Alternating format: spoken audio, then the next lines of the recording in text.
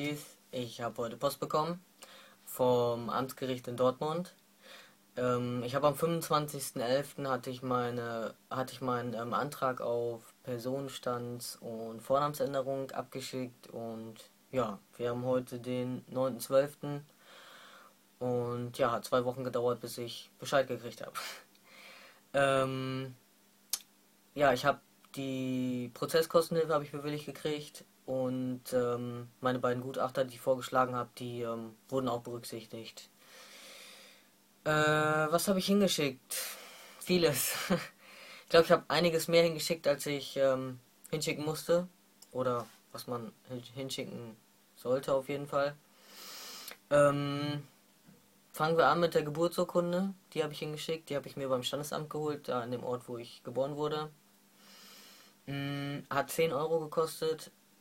Dann habe ich mir eine erweiterte Meldebescheinigung geholt. Ist im Endeffekt das gleiche wie die normale Meldebescheinigung. Nur der Name wurde geändert, also ist eigentlich das gleiche. Äh, die hat, meine ich, 7, 8 Euro gekostet. Dann habe ich, was habe ich noch hingeschickt? Ähm, hm, eine Kopie von meinem Personalausweis, Vorder- und Rückseite. Zusätzlich habe ich äh, meinen DGTI-Ausweis ähm, mit hingeschickt. Dann habe ich, was habe ich noch hingeschickt? Ähm, den Antrag auf Prozesskostenhilfe habe ich dann hingeschickt mit ähm, mit den Abrechnungen, die man jeden Monat kriegt, diese ähm, Lohnabrechnung oder wie das heißt, wo halt drauf steht, was man äh, brutto netto verdient jeden Monat. Dann, ja, von den, von den letzten drei Monaten, die habe ich hingeschickt. Dann habe ich hingeschickt, ähm, was habe ich denn noch hingeschickt? Ähm, Lebenslauf habe ich hingeschickt, einen tabellarischen, tabellarischen Lebenslauf also so einen wie wenn man sich äh, bewirbt, zum Beispiel für eine Ausbildung oder für einen Job oder sowas. Ähm, mit aktuellem Lichtbild. Dann habe ich hingeschickt ähm, den Translebenslauf.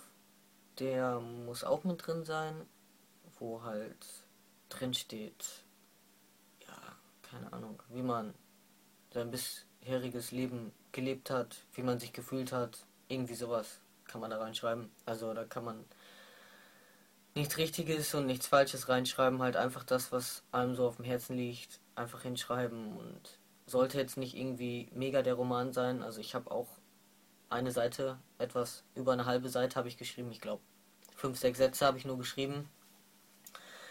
Ähm, was habe ich noch geschrieben? Mm, den Antrag halt auf ähm, Vornamens- und Personenstandsänderung. Den Vordruck habe ich genommen aus dem Internet.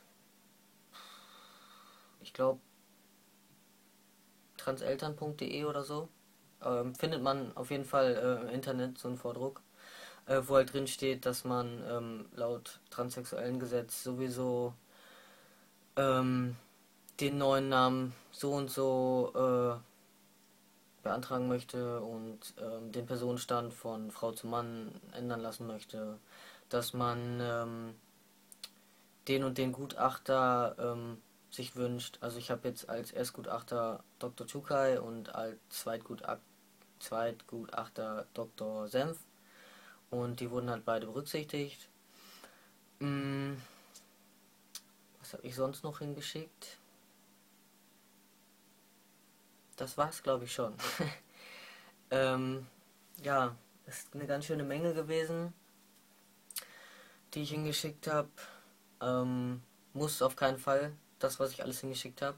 Ich habe es nur gemacht, weil ähm, ich halt keinen Bock hatte, wenn es jetzt ankommt und da was fehlt und ich wieder was hinschicken muss und wieder wochenlang warten und ja, das wäre mir zu nervig gewesen und deswegen habe ich halt einfach alles hingeschickt, wo ich dachte, okay, das könnten die eventuell gebrauchen und ob's, ob die es jetzt nicht brauchen oder, oder doch, ist mir halt relativ schnuppe und es wegschmeißen, aber auf jeden Fall ist es halt da. Ähm, Im Schreiben stand jetzt halt auch nicht, dass jetzt irgendwas fehlt, was, was die eventuell nicht brauchen. Ich hoffe, ich habe auch nicht vergessen, irgendwas vergessen aufzuzählen, was ich hingeschickt habe. Also, ich glaube, das war alles. Ähm, ja. Ich habe es dummerweise, habe ich es auch ohne Einschreiben hingeschickt zum Amtsgericht. Und glücklicherweise ist es angekommen. Äh, keine Ahnung, warum ich es ohne Einschreiben geschickt habe. Ich habe einfach nicht nachgedacht.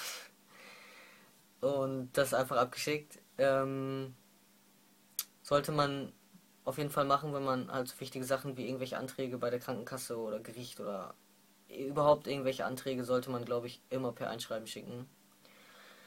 Ja, ich habe dann auf jeden Fall nach einer Woche nochmal angerufen. Wie gesagt, ich habe es am 25.11. habe ich es abgeschickt und habe dann nach einer Woche angerufen und gefragt, ob es überhaupt angekommen ist, weil ich es halt ohne ähm, Einschreiben abgeschickt habe. Und der Herr vom Gericht sagte mir halt, dass es angekommen ist. Dafür war das auch mich, äh, für mich geklärt. Ich habe da jetzt nicht weiter nachgefragt, ob es bearbeitet wird oder was weiß ich. Das war mir vollkommen egal. Ich wusste halt, dass es da war und ja, sobald das Gericht halt Zeit hat, habe ich mir gedacht, äh, wird es das schon bearbeiten und tada, es ist, äh, hat zwei Wochen gedauert. ähm, ja, wie es jetzt weitergeht, weiß ich auch nicht genau. Ich lasse mich überraschen. Ich denke mal, dass ich dann irgendwann jetzt Post bekommen werde von den jeweiligen Gutachtern, wo dann äh, ein Termin drin steht, dass ich ähm, dann halt zu den Gutachtern fahre und die das Gutachten für mich machen, um, damit ich halt ja da weiterverfahren kann. Ähm, sonst wüsste ich da jetzt erstmal nichts zu, zu sagen.